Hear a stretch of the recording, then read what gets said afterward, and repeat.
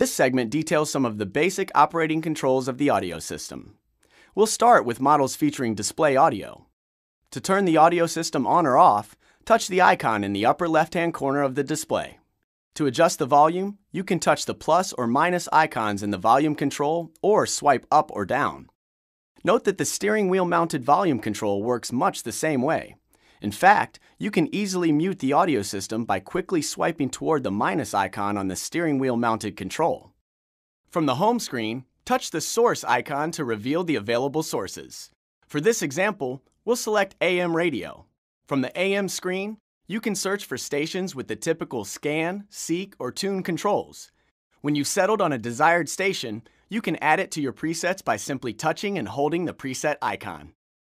To use the Apple CarPlay and Android Auto features on select models, connect the phone to the system via the USB audio interface in the center stack. Note that the Android Auto app must first be downloaded to Android phones. Then, when the home screen is selected, the appropriate icon will appear and allow interaction with the compatible smartphone-based apps.